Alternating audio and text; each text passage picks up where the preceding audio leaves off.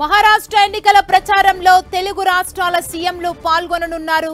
AP CM Chandrababu రెండు రోజులు ప్రచారం నిర్వహిస్తారు. ఇక తెలంగాణ సీఎం మూడు రోజుల పాటు ప్రచారం చేయనున్నారు. ఎన్డీఏ తరపున చంద్రబాబు ఎన్నికల ప్రచారం చేయనుండగా ఎంబీఏ తరపున సీఎం రేవంత్ రెడ్డి ప్రచారం చేయనున్నారు. తెలుగు మూలాలున్న ప్రాంతాల్లో చంద్రబాబు ప్రచారం చేస్తారని తెలుస్తోంది. ఇక రేవంత్ రెడ్డి పలు ప్రాంతాల్లో నిర్వహించే బహిరంగ సభల్లో పాల్గొననున్నట్లు సమాచారం. ఎన్డీఏ కూటమి తరపున చంద్రబాబు ప్రచారం చేస్తే తెలుగు రాష్ట్రాల ముఖ్యమంత్రులిద్దరూ వేరే రాష్ట్రంలో పరస్పరం వ్యతిరేక పార్టీలకు ప్రచారం చేసినట్లవుతోంది.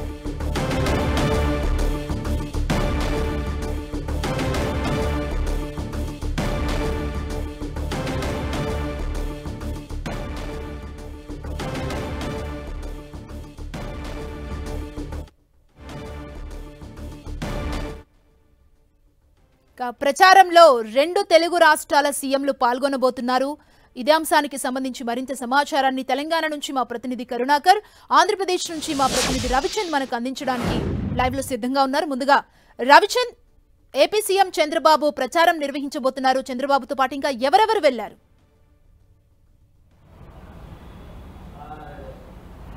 సుమా మధ్యాహ్నం ముఖ్యమంత్రి చంద్రబాబు ఇక్కడి నుంచి ఏదైతే ప్రస్తుతం అసెంబ్లీకి వస్తూ ఉన్నారో అసెంబ్లీ నుంచి కూడా డైరెక్ట్గా ఆయన ఒంటి గంట సమయంలో ఢిల్లీ బయలుదేరి వెళ్తారు. ఏదైతే గన్నవరం విమానాశ్రయం నుంచి ప్రత్యేక విమానంలో ఆయన ఢిల్లీ వెళ్తారు.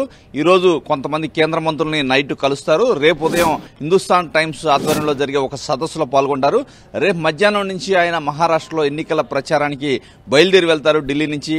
అయితే పవన్ పవన్ కళ్యాణ్ డిప్యూటీ సీఎం పవన్ కళ్యాణ్ పర్యటన కూడా ఇద్దరు కలిసి వెళ్తారనే ఒక సమాచారం వస్తుంది. పవన్ కళ్యాణ్ ఇప్పటికే రెండు రోజులు షెడ్యూల్ అయితే మహారాష్ట్ర ఎన్నికల కోసం ఎన్డీఏ నేతలకు ఇవ్వడం జరిగింది. శని ఆదివారాలు పూ- పూర్తి స్థాయిగా ఆయన ఎన్నికల ప్రచారానికి సమయాన్ని కేటాయించారు. ఈ నేపథ్యంలో చంద్రబాబు పర్యటన కూడా ఇప్పుడే ఖరారైందని తెలుస్తుంది. చంద్రబాబు కూడా ఏదైతే రేపు సాయంత్రం ఆయన మహారాష్ట్ర ఎన్నికల ప్రచారానికి వెళ్తారు అయితే పవన్ కళ్యాణ్ కూడా ఇద్దరు కలిసి ఏ, స- ఏదైతే సభలో సమావేశాల్లో పాల్గొనే అవకాశం ఉంది. అక్కడ మహారాష్ట్రలో తెలుగు ప్రజలు కూడా కొన్ని ప్రాంతాల్లో ప్రభావితం అవుతూ ప్రభావిత శక్తిగా ఉన్నారు. వారందరినీ ఇన్ఫ్లుయెన్స్ చేసేందుకు ఎన్డీఏ నేతలు వీరిద్దరిని కూడా రంగంలో దించుతున్నారు.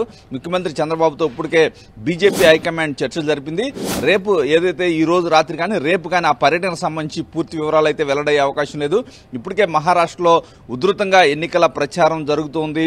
ఇప్పటికే చాలామంది నేతలు అంటే బీజేపీకి సంబంధించిన తెలుగు నేతలు కూడా అందరూ కూడా అక్కడికి వెళ్ళి ప్రచారం చేస్తున్నారు. ఈ నేపథ్యంలో తెలుగు వారిలో కొంచెం ప్రభావితంగా ఉండే ముఖ్యమంత్రి చంద్రబాబుని రంగంలో దించాలని ఎన్డీఏ నేతలు భావిస్తున్నారు.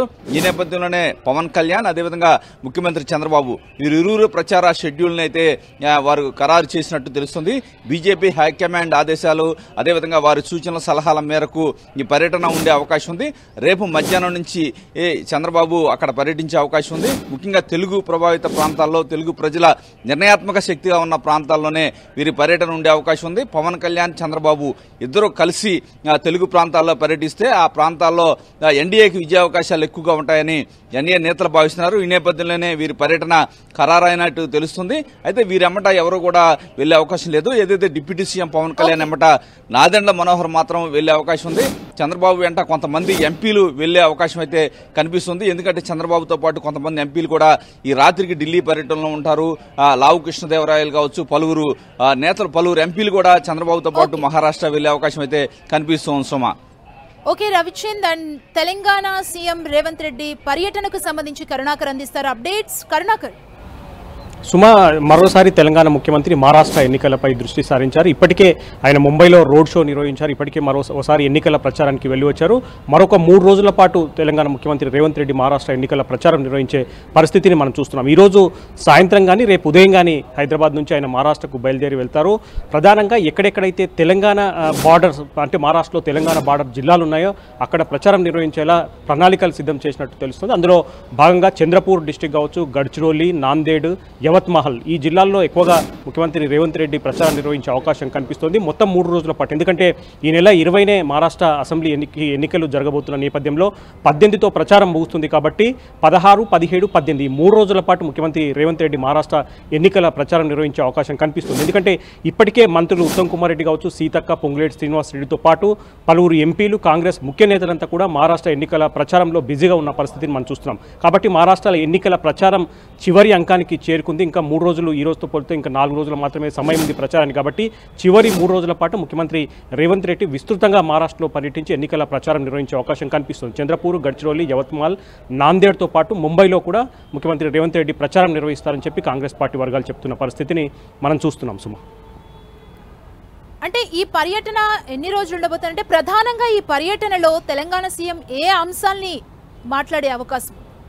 ఖచ్చితంగా ముఖ్యమంత్రి రేవంత్ రెడ్డి అంటే మొన్న ముంబైలో పర్యటించి ఆయన రోడ్ షో నిర్వహించిన సందర్భంగా కూడా తెలంగాణలో అమలు చేస్తున్న పథకాలు కాంగ్రెస్ ప్రభుత్వం అమలు చేస్తున్న సంక్షేమ అభివృద్ధి కార్యక్రమాలనే ప్రధానంగా ఆయన లేవరెత్తిన పరిస్థితిని మనం చూస్తున్నాం. అదే సమయంలో కేంద్రంలో బీజేపీ నరేంద్ర మోడీ ప్రభుత్వ వైఫల్యాలను ఎండగడుతూనే తెలంగాణలో ప్రధానంగా ఆరు గ్యారంటీలను ఏ విధంగా అమలు చేస్తున్నాం? అందులో మరీ ముఖ్యంగా ఒకే దఫా రెండు లక్షల రుణమాఫీ కావచ్చు లేకపోతే మహిళలకు ఉచిత ఆర్టీసీ ప్రయాణం కావచ్చు లేకపోతే మహిళా సంఘాలకు వడ్డీ లేని రుణాలు కావచ్చు ఇటువంటి ప్రధానమైన అంశాలన్నింటినీ కూడా అక్కడ లేవనెత్తున్నారు కాబట్టి తెలంగాణలో విజయవంతంగా ఏ విధంగా అయితే ఆరు గ్యారంటీ పథకాలు అమలు చేస్తున్నామో అదేవిధంగా మహారాష్ట్రలో కూడా ప్రభుత్వం వస్తే తమ ప్రభుత్వం వస్తే ఖచ్చితంగా అటువంటి పథకాలు ప్రజలకు అందిస్తామని చెప్పి చెప్తూనే నరేంద్ర మోడీ కేంద్ర వైఫల్యాలను కూడా అక్కడ ఎండగడుతున్న పరిస్థితిని మనం చూస్తున్నాం. కాబట్టి ఈ మూడు రోజుల పర్యటనలో కూడా ముఖ్యమంత్రి రేవంత్ రెడ్డి కూడా ఇదే అంశాలను లేవనెత్తి కాంగ్రెస్ పార్టీ అక్కడ కూటమికి ఓటు వేయాలని చెప్పి ప్రజలను కోరే అవకాశం కనిపిస్తోంది సుమా.